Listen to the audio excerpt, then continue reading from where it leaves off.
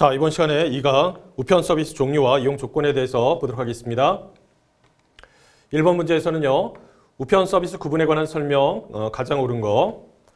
동그라미 1번에서는 우편 서비스는요. 보편적 우편 서비스와 특수취급 우편 서비스로 구분한다라고 했는데 그렇지는 않고요. 우리가 이제 보편적 우편 서비스와 그 다음에 이제 선택적 우편 서비스로 해서 이렇게 나누고 있죠. 그러니까 여기 교재에서는 우편 서비스라고 하고 저 뒤에 법령에 가시면은 우편 영무라고 하는데 다 같은 얘기라고 생각하시면 되겠습니다. 그런데 이제 일본에서는 보편적 우편 서비스와 특수취급 우편 서비스로 구분한다라고 했으니까 잘못된 내용이 되겠습니다. 그렇다면 여기서 특수취급이라고 돼 있는데 특수 취급 관련했을 때 이 내용들이 구체적으로 뭐냐라는 건데요. 우리 이제 저, 저 뒤에 법령에 보시면은 별표라고 해서 별표 뭐 1, 여기를 참고하시면 그 표가 그려져 있는데 표 옆에 첫 번째 등장하는 구분에서 특수 취급이라고 돼 있습니다. 그러면서 설명이 쭉 돼 있는데 뭐 등기부터 시작해서 준등기라든지 그 다음에 뭐 보험 관련했을 때 통상이라든지 소포라든지 내용 증명 뭐 이런 것들 다 들어가 있어요. 그러한 것들이 사실상 특수 취급의 사례다 이렇게 생각하시면 좋겠습니다. 이게 뭐 시험에서 직접적으로 출제되는 내용은 아니지만 우리가 이제 특수 취급이라는 개념과 그다음에 교재를 또 보시면 부가 취급이라는 내용도 나와요. 그렇다면 특수와 부가라는 개념이 완전히 별개 개념이냐라고 하면 꼭 그렇진 않다라는 거죠. 그래서 거의 같은 의미로 해서 혼용해서 어, 사용이 되고 있다. 이렇게 그냥 대략적으로만 이해하셔도 충분하겠습니다. 그러한 구체적인 내용이 이제 이런 것들이다. 대충 살펴보시고요. 어찌됐든 우편 서비스 관련했을 때는 보편적, 그 다음에 선택적 우편 서비스로 해서 구분되니까 옳지 않은 것이고요. 두 번째 보시면 보편적 우편 서비스는 2kg 미만의 통상 우편물, 20kg 미만의 소포 우편물로 그 서비스 대상으로 한다라고 했는데 얘네 둘을 나누는 기점은 어떻게 되느냐라고 하면 통상 우편물과 소포 우편물 갖다가 구분하는 기점이 여기가 2kg, 그 다음에 여기가 20kg이다 라고 했었죠. 20kg. 내용을 보시면 숫자가 나와 있으면 그 앞에 나와 있는 설명과 뒤에 있는 것들 잘 보셔야 된다라고 했었습니다. 이하라고 했어요. 이하. 여기는 초가. 반면에 보기를 보시면 미만, 미만이라고 했었으니까 옳지 않다라는 겁니다. 어, 우리가 이제 저 뒤에 보시면 그 금융상식 쪽에서 각종 뭐 세금을 어떻게 계산하는지 내용들이 또 제시가 돼 있는데 특히 그 부분과 관련했을 때는 숫자가 나와 있을 때 숫자와 그 뒤에서 표현하고 있는 것이 뭐 초간지, 미다라는 것인지 이거 잘 연결해서 보셔야 돼요. 여기도 마찬가지입니다. 우, 그 우체국 예금 관련했을 때 어떤 숫자가 등장을 했다라고 한다면 개뿐만 아니라 앞에서 뒤에서 꾸며주는 그 내용까지도 잘 보실 필요가 있다는 거죠. 그래서 보편적 우편 서비스는 2kg 이하, 그 다음에 소포 관련했을 때 20kg 이하 이렇게 돼 있다는 겁니다. 세 번째 보시면 전자우편, 모사전송과 우편물 방문 접수 관련했을 때 보편적 우편 서비스에 해당이 된다라고 했는데 아니죠. 예, 이거는 선택적 우편 서비스 이렇게 보시면 되겠고요. 네 번째 우편시설, 우표, 우편엽서, 우편 요금 표시 인형이 인쇄된 봉투 또는 우편 차량 등을 이용하는 것은 선택적 우편 서비스에 속한다. 이거는 맞는 내용입니다. 따라서 가장 옳은 것을 고른다라고 하면 동그라미 4번이 되겠죠. 관련된 이제 해설을 갖다 좀 참고를 하시고요. 이어서 두 번째 문제 보시면 배달 기한에 관한 설명입니다. 가장 옳은 것은 이라고 돼 있죠. 동그라미 1번에서 통상 우편물 등기 제외하고 접수한 다음 날부터 해서 3일 이내다라고 했는데 등기를 포함합니다. 포함합니다. 따라서 여기서 말하는 등기라는 것은 이런 얘기죠. 통상 우편물을 갖다가 등기로 보낸다라는 거죠. 이렇게 해서 등기 통상 다 같은 얘기입니다. 만약에 통상 우편물을 갖다가 일반뿐 아니라 어, 등기로 해서 보내게 된다라고 했을 때 접수한 다음 날부터 어, 3일 이내 이렇게 돼 있어요. 언뜻 생각하면 등기라고 하면 뭔가 더 빨리 보내는 듯한 느낌이 있는데 그렇지 않다라는 겁니다. 통상 우편물은. 근데 예를 들어서 등기 소포라고 한다면 이거는 접수한 다음 날까지 보내기 때문에 굉장히 빠르죠. 그렇지만 예, 등기 통상, 통상 등기 우편물 관련했을 때는 그냥 접수한 다음 날부터 3일 이내라는 거 구분해 주시고요. 두 번째 보시면 일반 소포는 접수한 다음 날부터 3일 이내라고 되어 있으니까 이거는 맞는 것이고요. 자, 이건 잘못된 거고 세 번째 보시면 등기 소포의 경우에 접수한 다음 날이다. 그 다음에 가로한 다음에 제주 항공편은 D 플러스 2, D는 우편물에 대한 접수를 한 날이다 라고 돼 있어요. 자, 근데 제주 선편은 어떻게 된다고요? D 플러스 2라고 했었죠. D 플러스 2. 제주 항공편은 특별한 언급은 없지만 여기서는 이제 D 플러스 1이라고 생각하시면 되겠습니다. 제주 항공편 관련했을 때. 네 번째 보시면 당일 특급을 해서 접수했다라고 한다면 당일 18시가 아니라 20시, 20시 이내 이렇게 내용을 정리하시고요. 배달 기한 관련했을 때는 특별히 이제 수업 목적상 예전에 출제된 내용도 있었었고 예와 관련했을 때는 손해배상과 연결되는 지점이 있기 때문에 잘 정리를 해주셔야 되겠습니다. 자, 근데 여기서 그 동그라미 3번에 보시면 제주 항공편은 D 플러스 2, 제주 뭐 선편이다 이게 정확한 것은 그렇게 말씀드렸잖아요. 그런데 그런데 실제 업무에서는 이게 약간 달라지는 경우가 있어요. 실제 업무에서는 그 다음에 예를 들어서 최근에 조금 그 상황이 변화된 부분이 있는데 제주 항공편 관련했을 때 원래는 D 플러스 1이지만 최근에 항공 보안 관련했을 때 규정이 강화됐거든요. 그래서 어 예전에 그 항공에 대해 어떤 물건이 터지는 사건이 있어가지고 그와 관련해서 항공 우편이다라고 한다면 일정 기간 동안에 대기 과정을 거치고 그 다음에 우편물을 갖다 실도록 돼 있어요. 최근에는 그런 걸로 인해서 본다라고 한다면 이게 배달 기한이 우리가 교재를 통해서 학습했던 부분과 약간 어그러지는 부분이 있습니다. 그런데 그거는 이제 실제 상황이 그렇다는 것이고 나중에 그 상황이 개선된다라고 한다면 다시 달라질 수 있는 여지가 있기 때문에 우리가 소목적상 학습한다라고 한다면 교재에 나온 내용 중심으로 해서 해주시면 되겠습니다. 그래서 여기 나와 있는 문제풀이들은 전부 다 교재를 중심으로 해서 판단을 한다. 이렇게 생각을 하시면 좋아요. 따라서 설명된 내용 중에서 가장 옳은 것을 고른다라고 하면 바로 동그라미 2번이 되겠습니다. 2번. 자, 2번의 일반 수포죠. 일반 수포 보시면은 여기에 나왔다는 거죠. 그래서 접수한 다음 날부터 3일 이내라고 되어 있습니다. 여기 1번에서는 등기를 포함한 것이 접수한 다음 날부터 3일이고요. 그 다음에 세 번째 보시면 등기 소포의 경우에 있어서 접수한 다음 날이죠. 제주 선편 관련했을 때 비고로 해서 표시가 되고 있는데 여기서 D는 우편물 접수한 날입니다. 접수한 날. 그래서 D가 우리 교재를 보시면 D가 접수한 날이 되는 경우도 있지만 또 배달 완료일이라고 해서 표시한 경우도 있기 때문에 절대적이지가 않다. 우리가 각각 학습하는 파트에 따라서 D에 대한 해석을 달리할 수도 있다는 거 좀 주의를 하시고요. 그 다음에 네 번째 당일 특급 접수한 당일에 20시 이내라는 거 예, 요거 봐주셔야 되겠습니다. 20시 느낌상 18시가 될 것 같은데 그렇지 않다라는 거예요. 자 이번에 세 번째 문제 보시면 배달 기한에 관한 설명입니다. 가장 옳지 않은 것은 첫 번째 배달 기한이란 우정사업본부가 약속한 우편물 배달에 걸리는 기간을 말한다라고 돼 있어요. 누가요? 주체가 우정사업본부라고 돼 있습니다. 그 다음에 두 번째 보시면 교통여건 등으로 인해 우편물 운송이 특별히 어려운 곳은 우정사업본부장이 별도로 배달 기한을 정하여 공고하느냐 교재 내용에 따르면 여기가 누가 되는 거예요? 네, 관할 지방 우정청장이 됩니다. 요걸로 해서 내용이 되어 있다는 거예요. 관할 지방 우정청장이 별도로 배달 기한을 정해서 공고한다라는 거예요. 공고. 자, 여기 2번 관련했을 때 제가 잠깐 언급을 해서 말씀을 드린다라고 하면 우리가 예전에 그 우편법 관련했을 때 법령을 갖다가 학습했었잖아요. 그때 시행 규칙에 보시면은 제가 강의 때 잠깐 말씀드렸습니다. 이와 관련했을 때 교재에서는 지금 동그라미 2번 내용만 제시돼 있지만 사실은 그, 그 시행 규칙에 보면은 요 위에, 요 위에 우정사업 본부장이라고 해서 나와 있는 부분도 있더라 라고 말씀드렸던 거 혹시 기억나시나요? 바로 그와 관련된 내용이라고 생각하시면 돼요.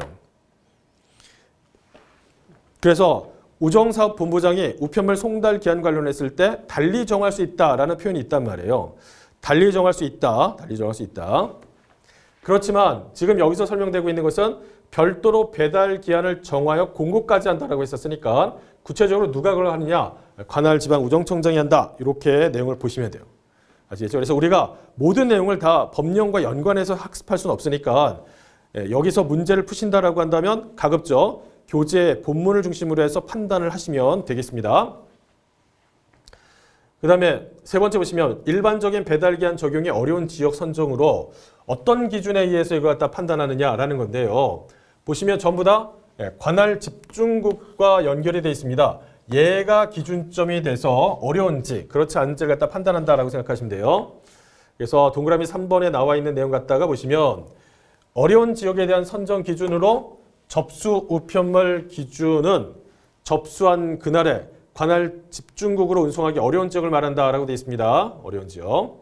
자, 이건 뭐 꼭 접수만 그런 것이 아니라 배달도 마찬가지다라고 생각하시면 돼요. 자, 이어서 네 번째 동그라미 보시면 운송 곤란한 지역의 배달 기한 계산 관련하여 접수 배달 우편물의 운송이 모두 어렵다란다고 하면 그때 각각 필요한 일수를 배달 기한에 합하여 계산한다. 합하는 거예요. 여기서 뭐 차감한다 이런 표현 쓰는 거 전부 다 틀렸다라는 겁니다. 합해서 계산한다. 합해서 계산한다. 그렇다면 예를 들어서 일반적인 경우에 있어서는 자 제가 우편물 갖다 누구에게 보낸다라고 했을 때 일반 음, 뭐 통사 우편물을 보낸다라고 한다면 D 플러스 3 접수한 다음 날부터 3일 이내 이렇게 해서 보내진다라고 했었잖아요. 근데 만약에 지금 여기에 나온 것처럼 운송 곤란한 지역이다라고 한다면 거기에 거기에 일수들이 더 추가된다라고 생각하시면 돼요. 그래서 일반적인 경우보다 뭐 하루가 혹은 이틀이 이렇게 더 걸리는 경우가 있을 수 있다라는 것이죠. 그래서 여기 나온 것처럼 동그라미 2번에서 교통 여건 등으로 인한 어, 우편물 운송이 특별히 어려운 곳이다라고 한다면 누가요? 관할 지방 우정청장이 해당 지역에 대해서는 더 많이 알고 있을 테니까 정하여 공고하도록 되어 있습니다. 네 번째 문제 보시면 배달 기한 관련했을 때 설명인데요. 옳은 설명은 몇 개냐 이렇게 되어 있습니다. 문제에서 그냥 단순하게 지문이 옳은 건 뭐냐 아니면 틀린 거는 뭐냐라고 물어보면 금방금방 확인할 수가 있어요. 그러니까 시험에 대한 난이도를 갖다가 구분한다라고 하면 예를 들어서 틀린 거는 뭐냐? 이게 제일 쉬워요. 그 다음에 두 번째는 뭐냐라고 하면 옳은 거. 옳은 거 뭐냐? 라고 물어보는 경우가 있습니다. 이게 그 다음이에요. 왜냐하면 틀린 거는 전체 우리가 학습한 내용 중에서 틀렸다라는 게 금방 하나가 이렇게 나온다는 거죠. 하나. 하나만 틀린 게 확인이 되면 돼요. 그런데 옳은 것은 이라고 한다면 보기에 네 개 중에서 우리가 세 가지 부분에 대해서 뭔가 잘못된 것을 찾아야 된다는 것이죠. 그래서 조금 더 어렵습니다. 그 다음에 난이도가 훨씬 더 높은 게 뭐냐라고 하면 지금처럼 옳은 설명은 몇 개냐라고 돼 있어요. 몇 개냐. 몇 개냐. 그러면 제가 제시된 내용 중에서 하나를 모른다라고 한다면 이게 개수가 달라지잖아요. 거기에서 벌써 확률 싸움이 들어간다는 거죠. 이런 거는 상대적으로 내가 옳고 그름에 대해서 명확하게 판단할 수도 있어요. 그 다음에 설사 하나를 모르더라도 확실한 예, 아니오가 있으면 그걸 통해서 정답을 접근할 수가 있습니다. 그런데 예, 네 번째 문제 같은 경우는 내가 하나라도 모르면 숫자가 왔다 갔다 하기 때문에 그 하나로 인해서 어, 답을 갖다가 못 맞추는 경우가 있다는 거죠. 예, 그래서 굉장히 좀 난이도가 있는 문제입니다. 실제 시험장 가시면 이런 것들의 체감 난이도가 많이 높아요. 높아요. 더군다나 시험을 보느라고 긴장한 상태에서 이런 것들 딱 접하게 되면 이게 도대체 맞는 거야 틀린 거야 이렇게 고민하는 경우가 많다는 겁니다. 우선 가해 보시면 관보 규정에 따른 관보는 배달기한 적용에 예외로 한다라고 되어 있습니다. 관보는 맞죠. 그 다음에 또 어떤 게 그러냐. 여기에 이렇게 해가지고 주 몇 회 발행하는 일간신문은 다음 날까지 배달하도록 정하고 있다라고 되어 있잖아요. 요때 몇 회냐? 5회입니다. 5회. 주의하시고요. 지금 관보나 일간신문 관련했을 때는 사실상 그냥 일반 우편물이에요. 그렇지만 그렇지만 정보의 어떤 가치를 계속적으로 유지하기 위해서 보다 신속하게 배달을 한다. 이렇게 생각하시면 되겠습니다. 그래서 관보나 그다음에 주 5회 발행하는 일간신문 관련했을 때는 배달 기한 적용에 예외를 두고 있다라고 생각하시면 돼요. 그래서 다음 날까지 다음 날까지 배달하도록 정하고 있고요. 그 다음에 다번에 보시면 운송 곤란한 지역의 배달 기한 계산 방법으로 다른 지방우정청에서 다르게 적용하도록 공고한 지역에 있는 경우에는 각각의 필요일수를 갖다 다 더해가지고 계산합니다. 예를 들어서 예를 들어서 지금 우편물 갖다가 이, 이곳까지 가져오는데도 시간이 상당히 걸리고 그 다음에 그쪽으로 보냈더니 거기에서 배달하는데도 시간이 상당히 걸린다라고 한다면 그렇게 각각 필요한 일수가 있을 거래요. 걔를 다 더해가지고 합해서 계산한다라고 생각하시면 됩니다. 라번에 보시면 일반적인 배달 기한 적용이 어려운 지역의 선정은 접수 및 배달 우편물 기준으로 해서 판단한다. 접수만 가지고 판단하는 거 아니고 배달만 가지고도 마찬가지로 판단하는 거 아닙니다. 접수와 배달 모두 다, 예, 다 고려해서 판단한다라고 돼 있으니까 맞아요. 따라서 제시된 내용 중에서 옳지 않은 것은 바로 예죠. 3회가 아니라 5회입니다. 5회. 그러니까 몇 개냐라는 건데 나를 제외한 가, 다, 라가 되겠습니다. 답은 3번이고요. 자, 이번에 5번 문제 보도록 하겠습니다. 통상우편물의 개념에 관한 설명입니다. 가장 옳은 것은 자, 1번에 통상우편물은 서신 등의 의사전달물, 통화, 송금통지서 제외, 그 다음에 소형 포장우편물을 말한다라고 되어 있는데 여기 나온 송금통지서 있잖아요. 얘는 제외되는 것이 아니라 포함이 됩니다. 포함. 그렇다면 송금 통지서라는 것이 어떤 역할을 하느냐라는 건데 예를 들어서 여기에 A가 B에게 돈을 보낸다라고 생각해 보세요. 통화 등기로 해서 만약에 10만 원을 갖다가 붙인다라고 한다면 이 10만 원을 갖다가 통화 등기의 봉투에 넣어가지고 10만 원이 있는 상태로 해서 최종적으로 B에게 배달이 되느냐? 그렇진 않다라고 했었죠.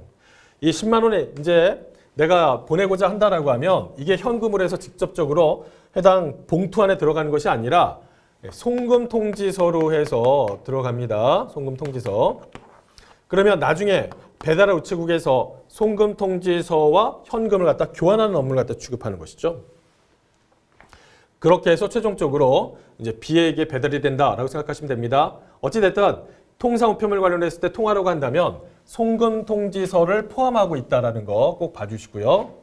자, 두 번째 보시면 서신의 범위에는 신문, 정기간행물, 서적, 상품 안내서 등 대통령령으로 정하는 것을 포함한다라고 했는데 얘네들은 포함하지 않습니다. 그러니까 지금 1번에서는 서신들 의사전달물이라고 돼 있지만 실제 통상 우편물 관련했을 때 교재를 보시면은 서신, 그 다음에 의사전달물 이렇게 해서 나눠가지고 설명을 하고 있거든요. 특히 이제 의사전달물 관련했을 때 내용 보시면 얘는 서신의 조건을 갖다가 갖추지 못했다라고 하고 대통령령이 정하는 것에 해가지고 서신 제외 대상에 해당하는 우편물이 있어요. 그와 관련했을 때 뭐가 있냐면 신문이나 정기간행물, 서적, 상품 안내서 이런 것들이 있다는 거죠. 따라서 2번 관련했을 때 내용 보시면 이런 것들은 서신의 범위에 들어가는 것이 아니라 바로 의사 전달물에 들어간다라고 보시면 됩니다. 이어서 동그라미 3번에 보시면 의사 전달물은 의사 전달이 목적이지만 서신의 조건을 갖춘 것인가요? 아니요. 갖추지 못했습니다.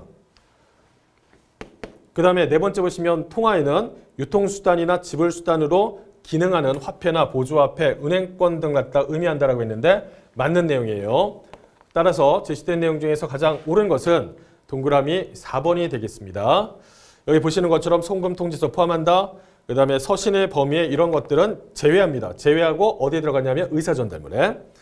그 다음에 세 번째 보시면은 어, 서신의 조건을 갖추지 못한 것이다 라고 해서 제가 수업 시간에 이렇게 말씀을 드렸죠. 예와 관련해 가지고.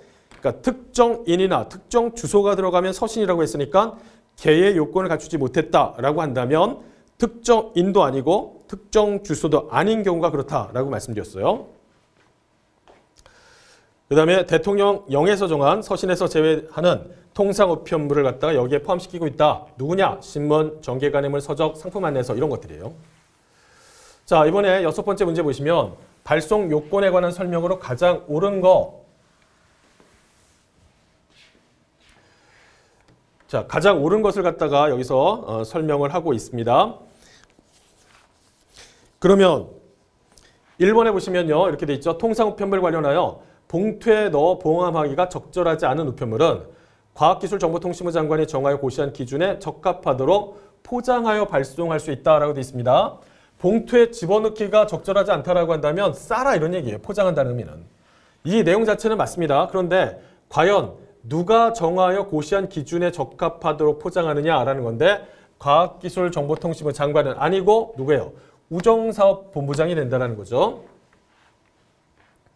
두 번째 보시면 과학기술정보통신부 장관이 발행하는 우편엽서와 사제엽서의 제조 요건에 적합하게 제조한 사제엽서 그 다음에 전자우편물은 그 특성상 봉함하지 아니하고 발송할 수가 있다라고 되어 있습니다. 왜? 구조상 엽서라는 것은 뭔가 봉투에 집어넣어서 보내는 게 아니니까. 그 다음에 전저편물 관련했을 때 예를 든다면 그림 엽서가 이와 관련했을 때 봉함해서 발송하지 않는다라고 했었죠. 자 그런데 여기 동그라미 2번에 보시면 과학기술정보통신부 장관이 발행하는 이렇게 돼 있지만 사실 여기 우편 엽서 관련해 가지고 설명된 내용에서는 누구예요? 얘가 아니라 예, 우정사업본부장이 이렇게 돼 있어요. 우정사업본부장이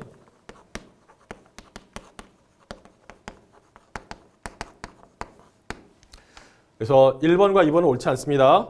우편 이용자는 우편물 접수 시 우편물의 외부에 발송인 및 수취인의 주소, 성명, 우편번호, 우편 요금에 납부 표시하여 발송해야 된다라고 했는데 이거는 맞는 내용이죠. 맞는 내용입니다. 물론 우리가 예전에 우편 관련해서 법령을 학습했을 때 예외적으로 뭔가가 나와 있는 경우가 있었어요. 이거 관련했을 때 이후에 이후에 그 내용들이 조금 더 서술된 내용이 있었죠. 네, 그거는 여기서 일단 고려는 하지 않으셔도 괜찮겠습니다. 그 다음에 네 번째 보시면 우편물 정기 발송 계약을 맺은 정기 간행물은 고시에서 정하는 바에 따라서 띠종이 등으로 묶어서 발송할 수 없다가 맞아요? 있다가 맞아요? 있다죠. 있다. 있다. 자, 그래서 이런 경우에 있어서는 띠종이 등으로 묶어서 발송할 수가 있습니다. 있습니다. 없다가 잘못된 것이고요. 따라서 제시된 내용 중에서 가장 옳은 거 뭐냐라고 하면 이제 동그라미 3번이 될 것이고요. 아까 말씀드린 것처럼 이게 이제 봉투에 봉함하여 적절하지 않은 우편물이다. 그러면 포장을 해야 되는데 누가 정한 고시 기준이에요? 우정사 본부장이 정한 거. 그 다음에 여기에 보시는 것처럼 우편 엽서와 사제 엽서의 제조 요건에 적합한 그 내용으로서 이제 설명이 들어가고 있는데 누가요? 우정사 본부장이 발행하는 우편 엽서. 그 다음에 네 번째 보시면은 이렇게 어, 정기 발송 계약을 일단 맺었다라고 한다면 고시에서 정하는 바에 따라서 이렇게 묶어서 발송할 수가 있습니다. 7번 문제 보시면 통상우편물의 규격 요건 및 외부 표시 사항 관련한 설명이다. 가장 옳은 것은 봉함 우편물의 무게는 최소 2g에서 최대 50g이다 라고 돼 있는데 지금 이거 보시면 이 내용이 뭐냐라고 하면요. 통상 우편물의 규격 요건 및 외부 표시 사항 관련했을 때 내용이에요. 이때 봉함 우편물의 무게는 최소 2g이 아니라 3g에서 최대 50g으로 되어 있습니다. 우편 엽서 관련했을 때는요.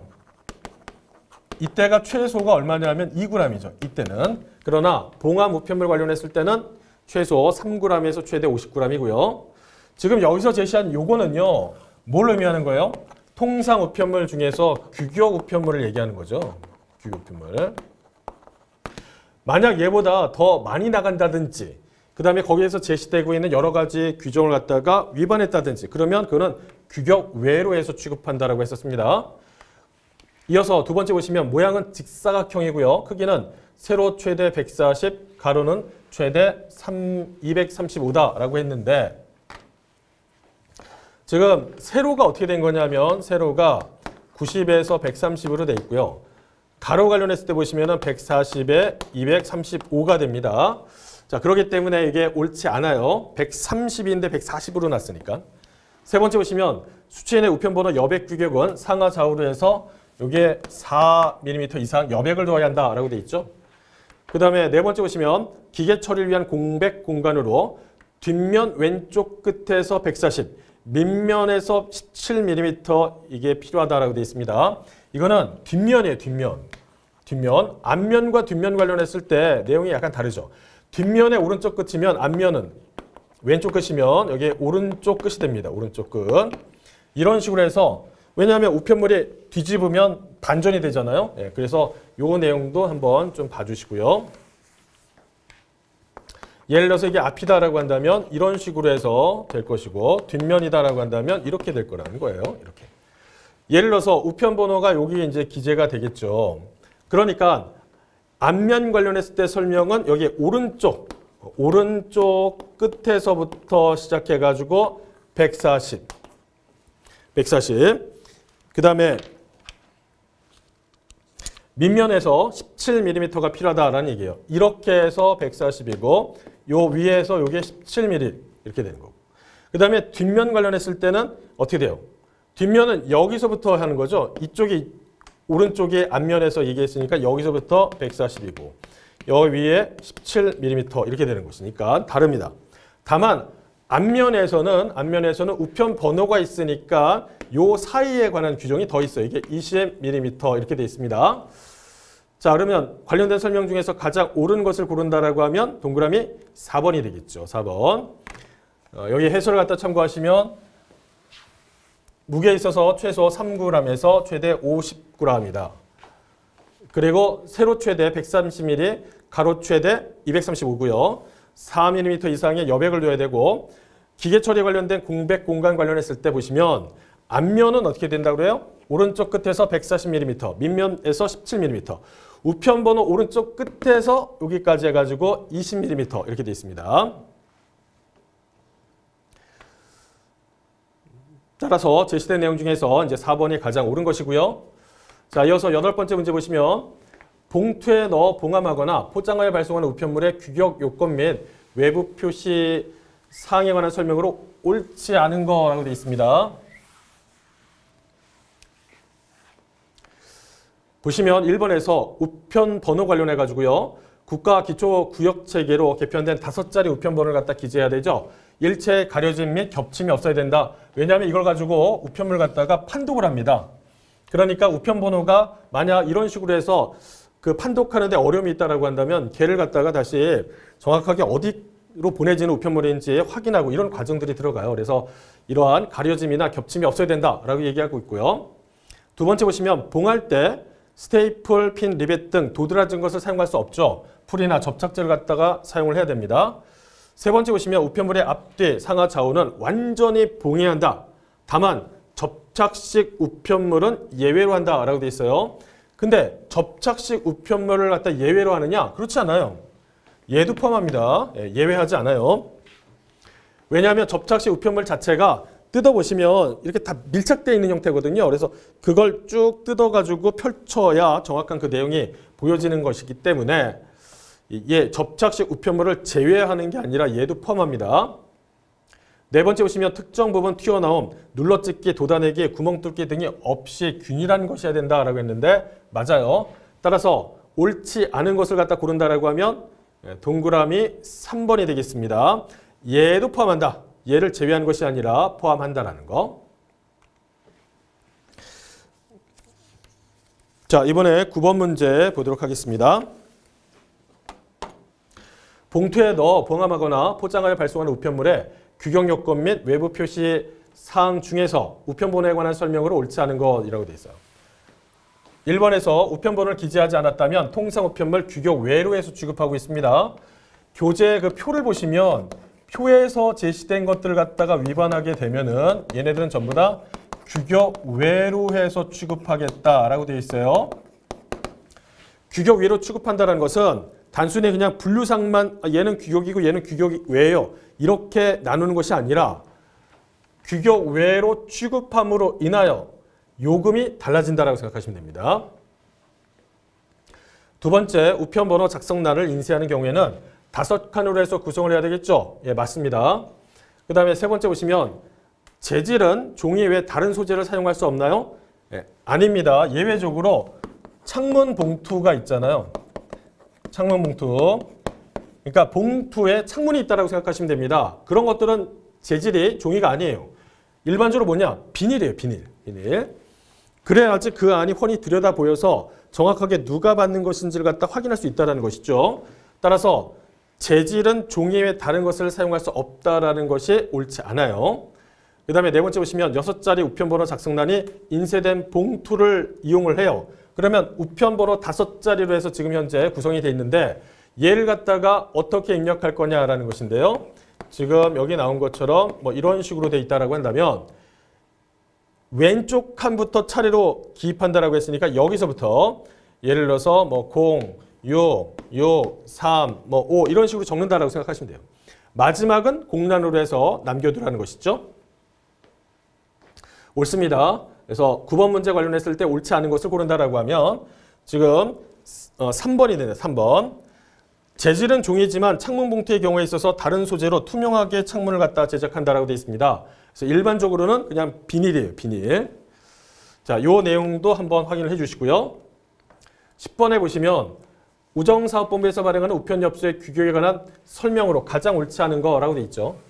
자, 첫 번째 보시면 형식은 여기선 또 형식이라고 얘기하고 있어요. 그러니까 우편 엽서 관련했을 때 형식이라고 얘기하는 것이 사실상 뭐냐라고 하면 모양을 얘기합니다. 모양. 모양이 직사각형이냐.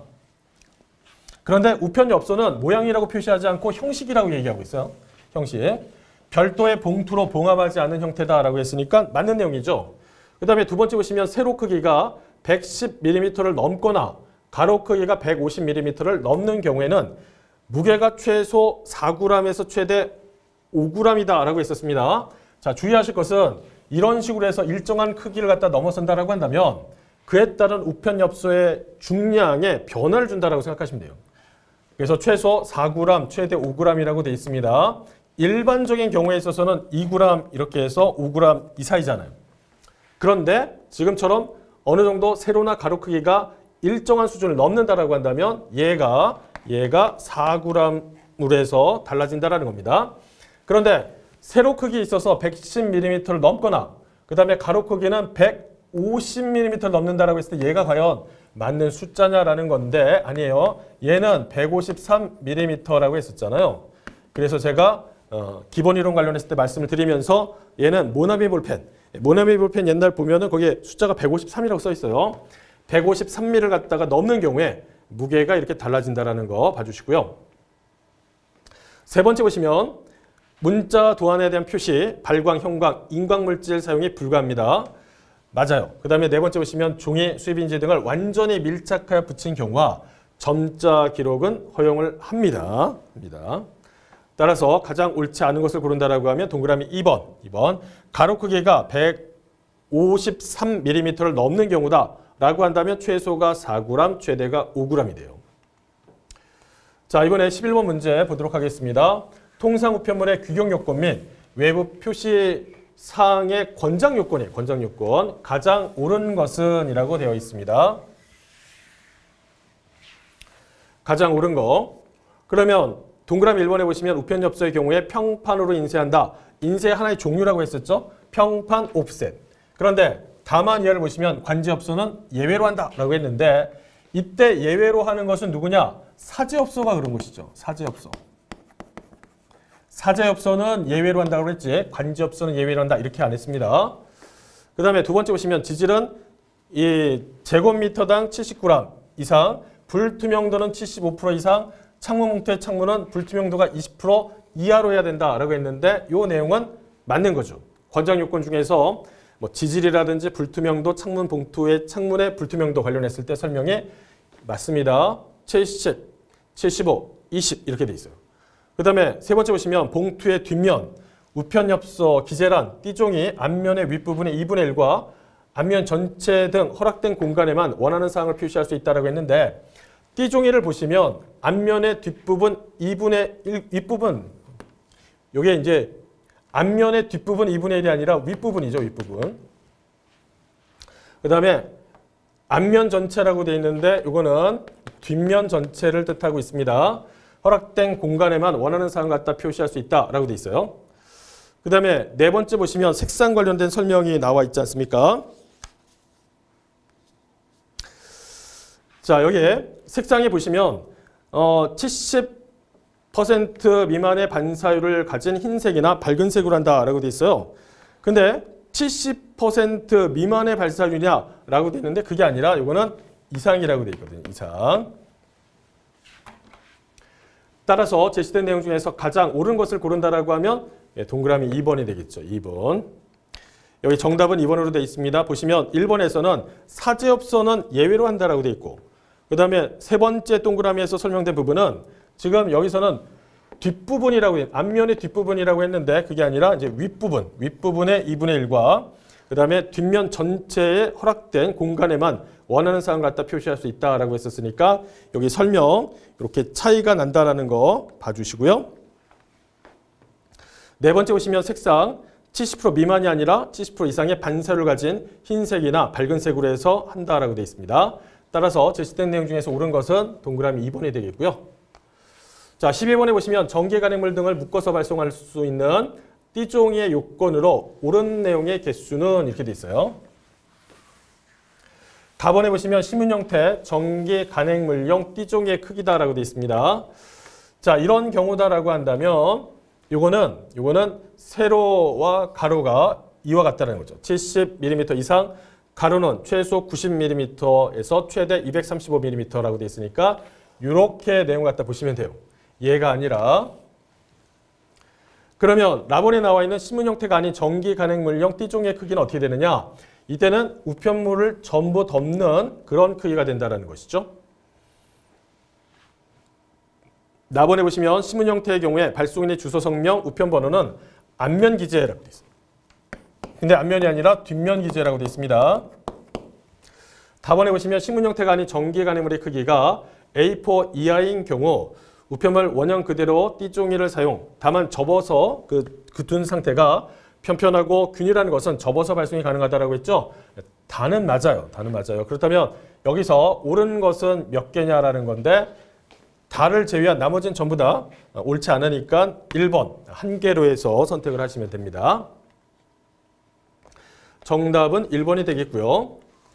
그 다음에 13번에 보시면 통상우편물의 규격 요건 및 외부 표시 사항에 관한 설명으로 옳지 않은 거라고 되어 있습니다. 자, 여기 1번에 보시면 봉투에 넣어 봉함하거나 포장하여 발송하는 우편물의 규격 요건 및 외부 표시 사항을 위반한 경우에는 통상 우편물 규격 외로 해서 취급한다. 맞아요. 표에서 제시되고 있는 것들을 갖다가 위반했다라고 한다면 그런 것들은 전부 다 규격 외로 취급한다. 규격 외 취급한다라는 것은 요금을 어떻게 한다는 거예요? 규격 외로 해서 적용한다는 얘기죠. 두 번째 보시면 우편엽서 규격 요건 중에서 형식을 위반한 경우에는 규격 외로 취급한다. 형식이라는 게 뭐예요, 여기서? 형식이라는 것은 직사각형 모양을 얘기하는 겁니다. 마찬가지로 규격 외로 해서 취급하는 것이고요, 위반하면. 그 다음에 세 번째 보시면 사제엽서 있잖아요. 예, 우정사업본부에서 정한 우편엽서의 규격 요건 및 외부 표시사항을 충족해야 된다라고 했는데 맞습니다. 맞아요. 사제엽서라고 하더라도 그냥 막 아무렇게나 이걸 갖다가 만드는 것이 아니라 지금 여기 나온 것처럼 우정사업본부에서 정한 그 규격 요건이나 외부 표시 사항이 있는데 걔를 갖다 다 충족을 해야 된다는 겁니다. 네 번째 사지하는 우편 엽서로 중량이 50g까지 규격 외 엽서다라고 한다면 어떤 요금을 적용할 거냐라는 건데 규격 봉투에 5g 초가 25g까지 요금을 적용하느냐? 아닙니다. 아닙니다. 얘가 50g이라고 한다면 최소한 최소한 중량은 비슷하게 맞춰줘야 되겠죠. 여기에 요금을 갖다 적용하는 데 있어서 그러니까 규격 봉투에 25g 초가 그 다음에 50g까지 물론 이제 까지라는 것이 이하 개념이 들어갑니다. 자, 이 요금을 적용하겠다. 교재에서는 금액적으로 해서 이걸 제시를 하고 있죠. 처음에 우정사업본부에서 얼마라고 했어요? 뭐 430원 이렇게 전 진짜 허무맹랑한 숫자를 집어넣었다가 나중에 450원 이렇게 해서 수정을 했었죠. 그래서 지금 현재 금액이 얼마냐? 450원이다 이렇게 이해를 하시면 됩니다. 우리 교재를 보시면은 금액이 제시된 사례가 그렇게 많지는 않아요. 생각보다는. 그래서 만약에 교재 중간중간에 금액적인 요소들이 등장한다라고 하면 걔는 수업 목적상 기억을 하는 게 안전합니다. 과거에도 보면 금액이 직접적으로 출제된 경우가 있었어요. 이런 경우에 있어서 수수료가 얼마다라고 했는데 실제는 뭐 그와 다른 숫자가 등장을 했고 그 다음에 이와 관련했을 때 뭐 통당 얼마씩 해가지고 요금을 뭐 징수한다라고 해서 설명한 경우가 있었고 예, 그런 것들이 전부 다 정답과 연결해가지고 예, 내용들이 이제 구성이 됐다라는 것이죠. 그래서 우리의 시험에서 우편상식 관련해서 금액적인 부분이 제시된다라고 한다면 꼭 그거는 기억을 해주세요.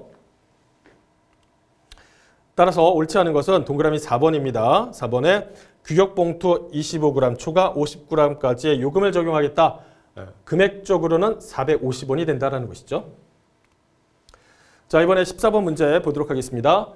우편물의 외부 표시 사항에 관한 설명으로 옳은 것은 자, 첫 번째 보시면 국가 기초 구역의 체계의 우편번호 앞두 자리는 시, 군, 구를 갖다 의미한다라고 했는데 앞에 있는 두 자리는요.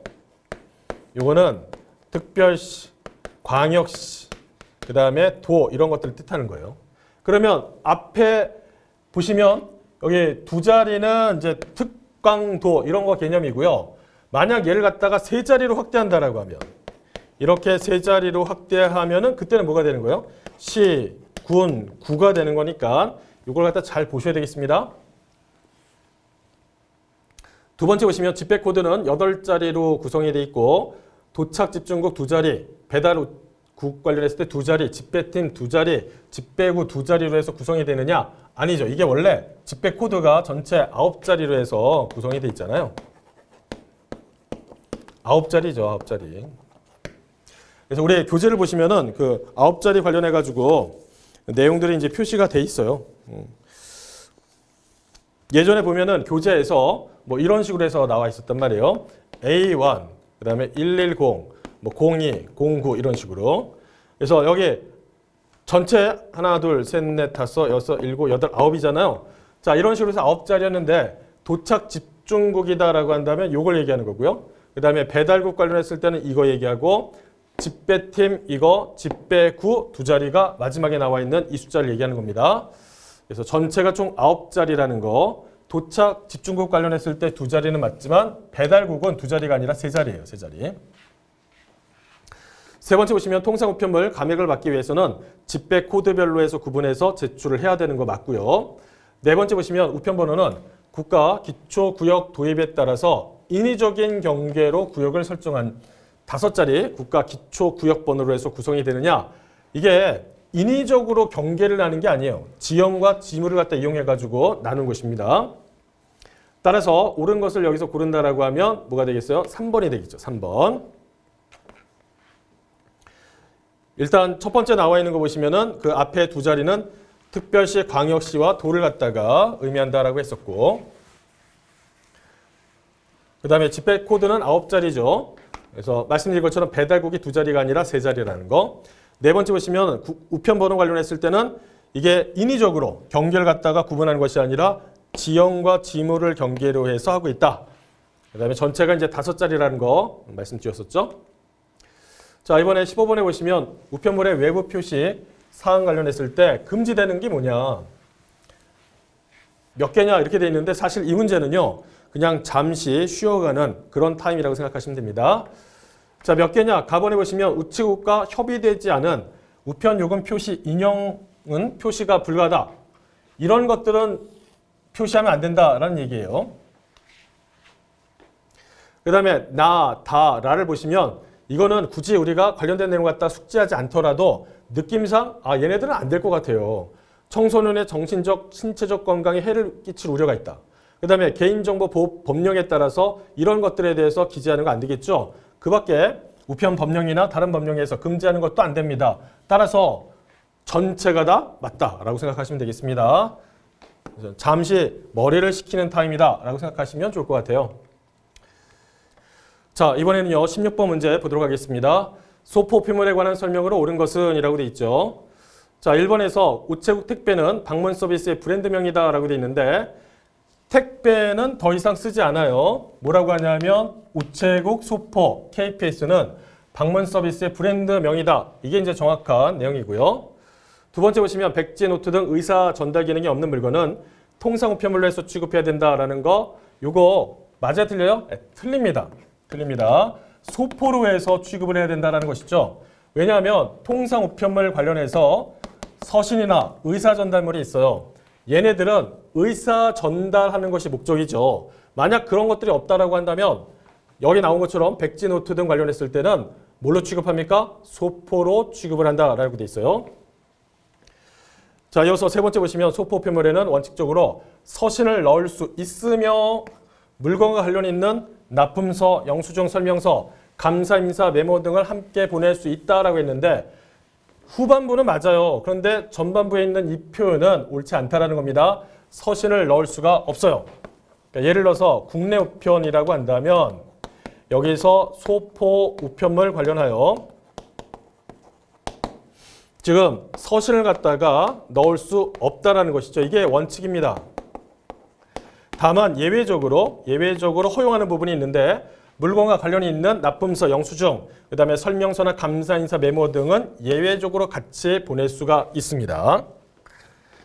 자, 그러면 우리가 배운 내용 갖다 조금 더 확장해서 본다라고 하면 국제 우편에 있어서 뭐가 있었냐면 소형 포장물이 있었다라는 겁니다.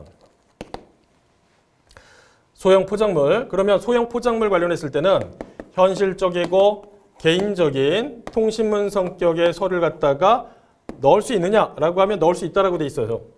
거기서 가능하다라는 겁니다. 가능하다. 그러니까 국내와 국제 관련했을 때는 서신 관련했을 때 말이 이렇게 어렵지만 현실적이고 개인적인 통신문 성격의 서류라는 게 뭐예요? 그냥 편지라고 생각하시면 좀 편해요. 자, 그런 것들을 여기는 넣을 수 없고 여기는 넣을 수 있다는 차이가 있다는 거죠. 그러면 그러면 생각해 보세요. 아, 근데 여기는 소형 포장물이지 않습니까? 얘는 얘는 분류상 통상 우편물이잖아요. 사실은 국제 우편에 있어서. 그러니까 같은 급으로 해서 비교하는 것 좀 그렇지 않나요? 라는 건데 그렇다면 국제 우편 있어서 소포 우편물 있잖아요. 얘는 어떠냐? 교재에서 특별한 언급이 없어요. 언급이 안 돼 있을 뿐이에요. 그렇다면 그렇다면 만약에 얘와 관련했을 때 비교한다라고 하면 어떻게 되는 겁니까? 라는 건데 교재에 없으니까 굳이 비교하실 필요는 없지만 참고적으로 해서 말씀을 드린다라고 한다면 소포의 경우에 있어서 현실적이고 개인적인 통신문 관련했을 때 넣을 수 있어요. 넣을 수 있어요. 넣을 수 있습니다. 그러니까 국제와 국내를 갖다 비교한다라고 하면 똑같은 소포 우편물 급으로 해서 얘는 안 되고 얘는 된다라는 거예요. 사실은. 네, 약간 그런 차이점이 있습니다. 근데 학습은 거기까지 뻗어나가지 마시고 마시고 요것만 한정으로 해서 아 소형 포장물 관련했을 때는 그 같이 넣을 수 있었지 대신 국내 우편의 소포 우편물에 있어서는 얘를 갖다가 넣을 수 없구나 이렇게 비교하시면 된다는 겁니다.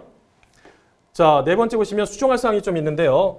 여기서 교재 보시면은 우편물에 중량이라고 해서 기재가 되어 있을 겁니다. 근데 얘를 갖다가 지우시고요. 대신 크기로 해서 수정을 하도록 하겠습니다. 자, 우편물의 크기에 따라서 소형 포장 우편물과 소포 우편물로 해서 나누고요. 소형 포장 우편물은 통상 우편물로 해서 구분하여 취급을 하고 있습니다. 맞아요. 맞아요. 그래서 통상 우편물의 네 가지 종류에 보시면 서신, 의사전달물, 통화, 그 다음에 소형 포장 우편물 이렇게 해서 네 가지로 구분이 됐다는 거예요. 소형 포장 우편물과 소포에 있어서의 구분은 뭐냐라는 건데 우편물의 크기에 따라서 그렇게 한다는 겁니다.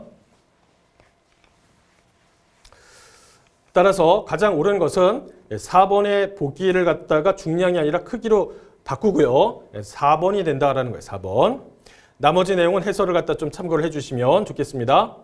자, 이어서 17번 문제 보시면 소포 우편물의 접수에 대한 설명이죠.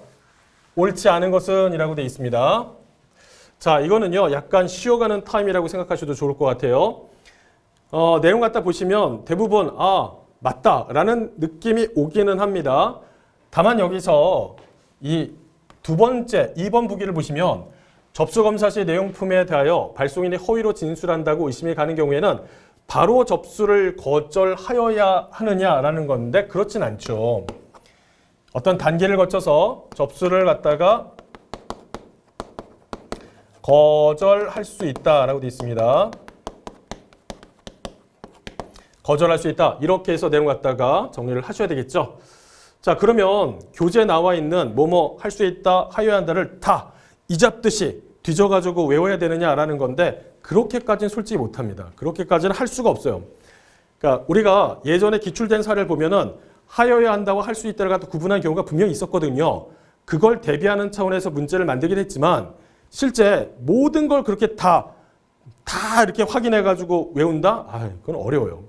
그래서 제가 나름 중요하다고 생각하는 포인트가 있기 때문에 문제로 만들어서 여러분께 소개를 해드리는 거지 그거 외에 나머지 부분에 대해서 막 이잡듯이 이렇게 하는 거는 어렵다 어렵다 그래서 이걸 갖다가 왜 이렇게 정리를 했느냐 하면 예전에 요 관련된 문장에서 뒤가 정확하게 언급이 안 됐었어요.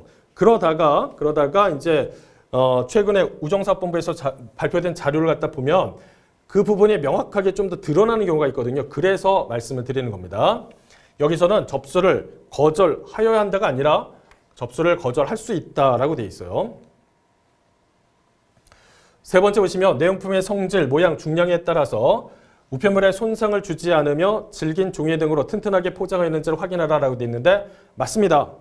그 다음에 네 번째 보시면 접수 검사 시 내용품이 다른 우편물을 훼손시키거나 침습을 초래할 가능성이 있는지 여부를 갖다가 문의하라고 되어 있네요. 맞아요. 그래서 옳지 않은 것은 동그라미 2번인데 지금 여기 보시면 허위로 진술한다고 의심이 간다라고 한다면 막바로 접수를 거절하는 것이 아니라 접수를 거절할 수는 있지만 중간에 개피를 요구해. 개피라는 거는 그걸 갖다 좀 열어보세요 이런 뜻이죠. 개피를 요구하고 내용품을 확인한다. 근데 발송인이 개피를 거부한다라고 하면 그때 접수를 거절하는 것이지 단순히 허위로 진술한다는 의심만 가지고 접수를 거절해야 된다라고 한다면 중간에 여러 가지 민원이 발생된다라는 거죠. 민원이 발생됩니다. 실제 여러분께서 우체국에 가셔가지고 어떤 물건을 갖다가 접수하는 데 있어서 그게 나의 생각과 그 다음에 접수 담당자 분께서 생각하시는 게 다른 경우가 있어요. 그러면 거기에서 어떻게 되냐면 이 이제 우편물 갖다가 보내려고 하는 분 같은 경우는 이제 거기서 큰 소리가 나오는 거죠. 아니 왜 나를 의심하냐부터 시작해가지고 왜 함부로 이걸 갖다 열어보려고 하느냐부터 여러 가지 얘기를 갖다 마구 하시지 않겠습니까? 예. 그래서 이런 내용들 이렇게 해서 접수를 거절할 수 있다 이렇게 설명을 하고 있어요. 간혹 가다 보면 그 부, 분에 대해서 이해를 갖다 못하고 강하게 이제 자기 주장을 하시는 경우가 있거든요. 그러면 이제 접수 담당하시는 분께서는 그걸로 인해서 막 시끄러우니까 그냥 접수를 받아줘서 처리하시는 경우들도 종종 있습니다. 보면. 자, 어찌됐든 접수를 거절할 수 있다라고 돼 있고 그 중간에 개피를 요구하고 내용품을 확인해야 된다. 만약 발송인이 개피를 거부한다고 하면 그때 가서 접수를 거절할 수 있다라고 돼 있습니다. 옳지 않은 것은 동그라미 2번이고요. 18번에 보시면 등기수포 요금 징수에 관하여 영향을 미치는 요인 모두 몇 개냐라고 되어 있습니다. 우편물의 운송수단 영향 미치죠. 그러니까 예를 들어서 그냥 일반적인 뭐 차, 차량을 이용한다든지 아니면 비행기를 이용한다라고 한다면 요금 차이가 나요. 그 다음에 배달 지역에 따라서도 또 차이가 있고 그 다음에 중량에 따라서 부피에 따라서도 각각 요금의 차이가 있다는 겁니다. 근데 현실적으로 이 대한민국 육로로에서 갈 수 있는 곳이다라고 한다면 사실상 예와 예만 가지고 고려합니다. 사실은 사실은 지금 현재는 배달 지역이 서울이 됐든 부산이 됐든 크기와 중량이 같다라고 한다면 요금 차이는 없어요. 그런데 그런데 교재를 보시면 이게 전체가 다 나와 있긴 하거든요. 그러면 여기서 우리가 어떻게 구분해야 되느냐라는 건데 사실상 제주도가 있기 때문에 제주도는 어떠한 운송수단을 사용하느냐에 따라서 요금이 달라져요. 그 다음에 배달 지역에 있어서도 일반 내륙이냐 아니면 제주냐에 따라서 또 요금이 약간 달라지는 부분이 있단 말이에요. 그래서 그것까지 고려한다라고 하면 등기 소포 요금 징수 관련했을 때 영향을 미치는 요인은 제시된 가, 나, 다, 라 전부 다 포함해서 우리가 학습을 해야 되겠다라는 거죠. 따라서 답은 4번이 되겠습니다. 자, 이어서 19번의 문제 보시면 소포표물 접수에 관한 설명으로 가장 옳지 않은 것은 이라고 되어 있습니다. 등기 소포는 증납 또는 훈납으로 해서 납부할 수가 있다라고 되어 있습니다. 즉시 납부, 그 다음에 훈납이라는 것은 일정 그 기간 단위로 해서 다음 달 20일까지 해서 납부하는 걸 훈납이라고 했었죠. 자, 그게 다 가능합니다. 그 다음에 두 번째 보시면 착불 소포는 우편물 수취인에게 우편 요금을 수납하여 세입 처리한다라고 했는데 받는 사람으로부터 요금을 갖다 징수하는 것이죠. 맞습니다. 세 번째, 소포편물의 표면 왼쪽 중간에는 소포 표시를 한다라고 되어 있는데 이것도 맞아요. 소포 왼쪽 중간에 이렇게 해서 여기쯤이라고 생각하시면 돼요. 네 번째 보시면 등기 번호, 접수금명, 중량 및 요금을 표시한 등기 번호 바코드 라벨을 우편물의 표면 오른쪽 하단에 부착한다라고 되어 있는데 오른쪽이 아니라 왼쪽 하단에 부착합니다. 왼쪽. 그래서 실제 보면은 이게 등기 소포로 해서 보내는 우편물이다라고 했을 때 위에서 바라보면은 여기 여기쯤 되시면 돼요. 여기, 여기. 왼쪽 하단이라고 했으니까 여기에 붙인다라고 생각하시면 됩니다. 따라서 가장 옳지 않은 것을 고른다라고 하면 동그라미 4번이 되겠죠. 우편물 표면 왼쪽 하단에 부착한다라고 돼 있어요. 이제 가끔 가다가 우리 교재 갖다 살펴보시면 뭐 왼쪽, 오른쪽 이렇게 해서 약간 구분된 내용들이 등장을 하기 때문에 이렇게 한번 확인해 보십사 문제를 만든 것이고요. 자, 20번에 보시면 등기 소포와 일반 소포의 차이에 대한 설명입니다. 가장 옳지 않은 거 뭐냐라는 거죠. 첫 번째, 등기 소포는 접수에서 배달까지의 송달 과정을 기록하나 일반 소포는 기록하지 않죠. 따라서 따라서 등기 소포를 해서 접수하게 되면 해당 우편물이 지금 어디를 가고 어디에 도착해서 또 어디로 배달하고 이렇게 쭉 나와 있어요. 반면에 일반 소포는 전혀 확인이 안 됩니다. 두 번째 보시면 등기 소포는 망실 훼손 지연 배달 시 손해배상 청구가 가능하나 일반 소포는 청구할 수가 없는 것이죠. 예, 이거 맞는 내용이고. 세 번째 등기 소포는 부가 취급 서비스 취급이 가능하나 일반 소포는 취급이 불가합니다. 이것도 맞는 내용입니다. 기본적으로 부가 취급 서비스를 갖다 이용하기 위해서는 등기가 전제가 돼야 돼요. 그래야지 등기 소포를 해서 보낸다라고 했을 때 예를 들어서 제가 뭐 당일 특급을 이용한다든지 배달 증명을 한다든지 이게 전부 다 등기가 되어 있기 때문에 그렇다라는 것이죠. 근데 일반 소포는 그런 것들 취급이 전부 다 안 됩니다. 네 번째 보시면 등기 소포는 반송 시 반송 수수료를 갖다 징수합니다. 반면에 일반 소포는 징수하지 않죠. 그거는 맞아요. 그런데 가만히 보시면 여기에 등기 소포 취급 수수료라고 돼 있단 말이에요. 등기 소포 취급 수수료라고 돼 있는데 사실 정확한 표현은 반송 수수료를 해서 얼마를 받느냐라고 하면 등기 통상 취급 수수료를 갖다가 징수를 합니다. 어, 거참 특이하네.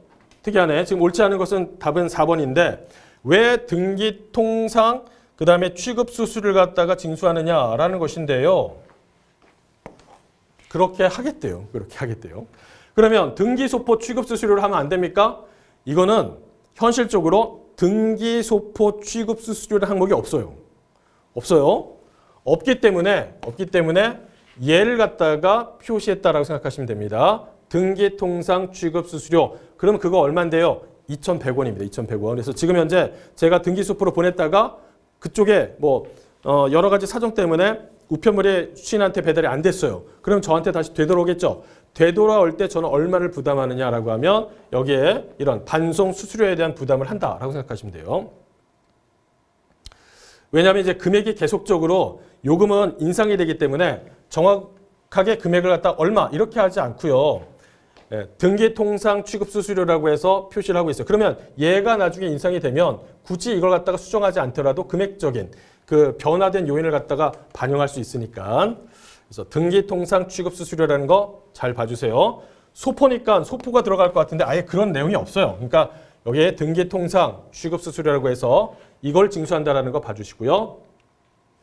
자 이번에 21번에 보시면 방문 접수 소포, 우체국 소포와 관련한 설명으로 가장 옳은 것은 자 첫 번째 보시면 우체국 소포는 소포 우편물 방문 접수의 브랜드로 업무 표장이며 영문 표기는 KDS냐? 아니죠. KPS라고 했잖아요. KPS. 아 이거 좀 너무한 거 아닙니까? 라는 건데 사실 좀 너무하죠. 그런데 생각해 보세요. 이게 지금까지 KPS가 시험에서 출제된 적은 없어요. 그런데 그런데 합격한 다음에 면접 보시잖아요. 면접 볼 때는 저거에 대해서 물어본 경우가 있었다라고 합니다. 보면. 그래서 여기 브랜드 이거 약자 뭐냐라고 해서 물어본 경우가 있었대요. KPS 코리아 파슬 서비스 이렇게 돼 있거든요. 그래서 요거 한번 보시라는 의미에서 넣은 겁니다. 두 번째 보시면 방문 접수 지역은 4급 도금 5급 우체국에 설치되어 있는 시, 군의 시내 배달구이고 그 외 관할 지방우정청장이 방문 접수를 실시하는 지역으로 한다라고 했는데 아우 방문 접수에 대한 실시 지역 관련했을 때는 관할 지방우정청장까지 갈 필요가 없어요. 그냥 우체국장 선에서 가능하다라는 겁니다. 우체국장. 세 번째 보시면 계약 소포의 경우에 우체국과 사전 계약을 통해 별도의 요금을 적용하고요. 주기적 또는 필요시로 해서 픽업합니다. 맞아요. 맞아요. 네 번째 보시면 우체국 소포의 경우에 요금 수취인 부담, 요금 척불 불가다라고 했는데 아닙니다. 가능합니다. 가능해요. 따라서 제시된 내용 중에서 가장 옳은 것을 고르라라고 한다면 동그라미 3번이 되겠고 여기 보시는 것처럼 자 시 군의 시내 배달구이고 그 외, 그 외 관할 지방우정청장이 아니라 관할 우체국장이 방문 접수를 실시하는 지역으로 한다라고 돼 있으니까 이걸 한번 봐주세요. 자 이번에 22번의 문제는 어, 우정사업본부에서 2022년 관련된 우금자를 갖다가 발표했는데 거기에서 새롭게 추가된 내용이 되겠습니다. 자 여기 보시면 계약 요금에 관한 설명으로 가장 옳은 것은 이라고 돼 있잖아요. 그러면 이제 평균 요금 관련했을 때 설명이 나와 있습니다. 계약 요금 중에 규격 물량 단계에 따라서 각 단계별로 구분하여 적용하는 것을 말한다라고 했는데 이거는 평균 요금에 대한 설명은 아니고요. 여기 보시는 것처럼 규격, 그 다음에 물량이라고 돼 있으니까 이거 단계별 관련해 가지고 요금이다 라고 생각하시면 돼요. 그래서 평균 요금은 아니다. 아니다. 평균 요금은 아니고 음, 규격 물량 단계별 요금이라는 거 봐주시고요. 그 다음에 두 번째 보시면 평균 요금의 발송 물량은 월 평균 천 통 이상의 연간 계약자에 하나요 적용 가능하다라고 되어 있는데 이게 천 통이 아니라 이거 만 통입니다. 만 통.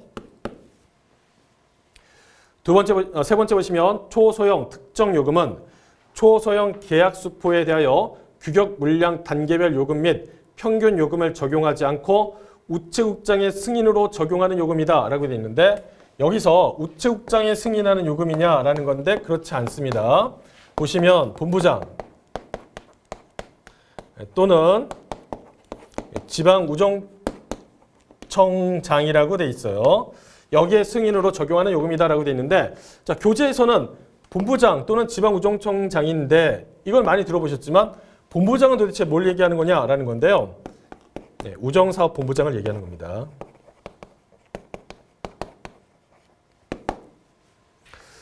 자, 이어서 네 번째 보시면 초소형 특정 요금은 월 평균 만 통 이상 발송업체 중에서 초소형 물량이 90% 이상인 경우에 적용 가능하다라고 돼 있잖아요. 자, 이거는 맞는 내용입니다. 따라서 제시된 내용 중에서 가장 옳은 것은 뭐냐? 동그라미 4번이고요. 지금 여기 나와 있는 것처럼 1번의 설명은 평균 요금이 아니라 규격, 물량 단계별 요금 관련했을 때 설명이라는 거 봐주시고요.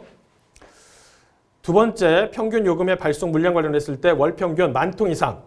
그 다음에 세 번째, 초소형 특정 요금 관련했을 때는 여기서 이런 것들을 적용하지 않고 누가요? 본부장 또는 지방우정청장이 승인으로 적용하는 요금이 있습니다. 그게 3번 관련된 정확한 설명이고요. 자, 이번에 23번 문제 보시면 계약 소포의 연간 계약에 관한 설명으로 가장 옳지 않은 거라고 되어 있네요. 1번에 보시면 일반 계약이란 계약 개인 또는 업체가 월 평균 300통 이상 발송하고요. 계약 기간이 12개월, 1년으로 해서 계약 기간과 이용 기간이 동일한 일반적인 발송 계약을 말한다라고 했는데 이거는 맞는 내용이죠. 그 다음에 두 번째 보시면 연합체 발송 계약은 상가나 시장 또는 농장 등을 중심으로 유사 사업을 목적으로 연합되어 있는 법인, 임의단체의 회원들이 한 개 이상의 우편관서와 계약을 체결하고요. 한 장소에 집합하여 계약 수포를 발송하는 것이다 라고 되어 있는데 그 내용을 가만히 읽어보시면 연합체 발송 계약 관련했을 때 한 개 이상의 우편관서가 아니라 이때는요. 한 개입니다. 한 개. 한 개의 우편관서 한 개 이상이 아니라 그냥 한 개, 한 개.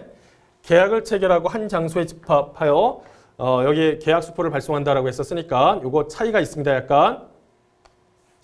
그 다음에 세 번째 보시면 다수지 발송 계약은 계약자가 주계약 우체국을 지정하여 우체국 수포 이용 계약을 체결하고요. 여러 우편 관서에서 별도의 계약 없이 계약 수포를 이용 발송하는 것이다 라고 되어 있는데 이 내용은 맞습니다. 그게 다수지 발송 계약이라고 되어 있고요. 네 번째, 반품 계약은 반품 등의 다수 발송인으로부터 소포를 수취하는 자와 체결하는 계약이다 라고 되어 있는데 이것도 맞는 내용입니다. 사실상 이 부분은 이제 처음 들어왔기 때문에 관련 내용에 대해서 우리가 정리한다라고 하면 이제 문자 그대로 이게 이제 어떤 내용이냐를 갖다가 먼저 보시는 게 필요하겠고요. 중간중간에 보시면 숫자들이 많이 등장을 하고 있어요. 그 숫자 관련했을 때 내용과 그 다음에 그게 앞과 뒤에서 어떻게 꾸며주고 있는지를 갖다가 살펴보시는 게 필요하다는 것이죠. 그러면 내용 중에서 가장 옳지 않은 것을 고른다라고 하면 동그라미 2번에서 설명되고 있는 어, 여기 연합체 발송 계약 관련했을 때 내용이라고 보시면 되겠습니다. 한 개 이상의 우편 관서와 계약을 체결하는 것이 아니라 한 개, 한 개의 우편 관서와 계약을 체결하고 한 장소에 집화해 가지고 계약 수포를 보냅니다. 자, 24번에 보시면 계약 수포에 대한 설명으로 가장 옳은 것은 이라고 돼 있죠. 첫 번째 한시적 발송 계약은 각종 행사 등 3개월 이내에 한시적으로 계약 수포를 발송한다라고 해서 한시적이라는 기간의 범위가 어떻게 되는지 봐주시면 3개월 이내라고 되어 있습니다. 맞는 것이고요. 그 다음에 두 번째 보시면 맞교환 우편물이라고 되어 있잖아요. 맞교환 우편물에 있어서 가장 중요한 포인트는 뭐냐라는 건데요. 사실상 교환이라고 생각하시면 돼요. 교환을 요구한다. 그러면 맞교환 우편물 관련했을 때 정확한 내용은 뭐냐? 바로 밑에서 설명되고 있는 이 부분이 되겠습니다. 자, 수취인에게 정상적으로 배달한 우편물을 수취인이 물품의 교환을 요구합니다. 그래서 발송인이 네, 새로운 물건 갖다 드리겠습니다라고 하면서 어떻게 해요? 가고 어떻게 해요? 예전 것은 내가 회수하고 그 다음에 새로운 걸 갖다가 보내는 것이죠.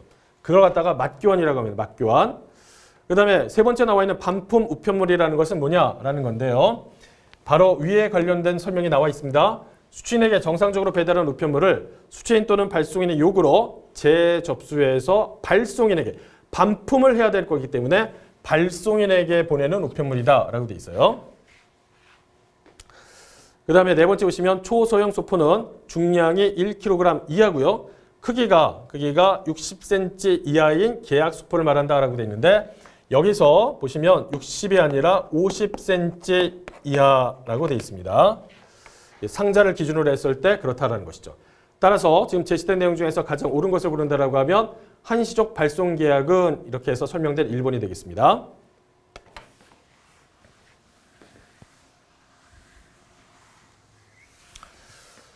자, 그래서 해설을 갖다 보시면은요. 일단 반품 우편물, 그 다음에 맞교환 우편물 관련했을 때 각각의 의미를 파악을 해주시고 초소형 소포 관련했을 때는 중량이 크기가 어떤 식으로 해서 규모 이하가 되는 것인지 확인을 갖다가 해주시면 좋겠습니다. 자 이번에 25번 문제 보시면 소포품을 접수 시 유의사항이다 라고 돼 있죠. 가장 옳지 않은 것이다 라고 돼 있는데 일단 1번에 보시면 파손 변질에 취약한 물품은 내부의 완충제와 테이프를 이용해서 재포장한다. 맞아요. 두 번째 기표지가 탈락할 우려가 있는 우편물은 보완하여 발송해야 된다. 이것도 맞아요. 그 다음에 세 번째 보시면 우편 물류 통합 시스템에 관련된 접수 정보를 정확히 입력하여 분실을 사전에 예방해야 된다. 맞아요. 그러니까 이것도 사실은 어떤 성격을 갖고 있느냐. 해당 문제도 새롭게 우정사업본부에서 발표된 내용에 추가되어 있긴 하지만 아, 이건 이제 일종의 쉬는 타임이다라고 생각하시면 좋을 것 같아요. 자, 근데 네 번째 나와 있는 내용은 좀 의의가 있습니다. 내용품에 적합하게 포장된 소포 우편물이 되도록 포장용 끈의 사용을 권장한다. 자, 그러한 포장된 소포품물이 되도록 포장용 끈의 사용을 권장하나요? 그렇진 않죠. 그러니까 예를 들어서 우편 집중국에 소포 구분기가 있는데 그걸 갖다가 이제 처리하는 데 있어서 이런 끈이 중간에 걸리는 경우가 많아요. 그래서 운행하는 데 있어서 여러 가지 장애 요인으로서 이게 드러나는 경우가 많기 때문에 얘네들의 끈의 사용을 갖다가 억제를 하죠. 억제를. 따라서 정답을 보시면 내용품에 적합하게 포장된 소포 우편물은 이거 소포 우편물이 되도록 포장용 끈의 사용을 갖다가 억제한다라고 되어 있습니다. 자, 그래서 정답은 4번이 된다라는 거 보시고요. 자, 이렇게 해서 우리가 이번 시간에 음, 제 2장 관련했을 때 문제를 다 풀어봤습니다. 어, 뒤에 보시면 이제 제 3장이 있는데 이거는 이제 분량이 작기 때문에 다음 시간에는 3장과 4장의 일부 내용까지 포함해 가지고 어, 말씀을 드리도록 하죠. 네, 수고 많으셨습니다. 감사합니다.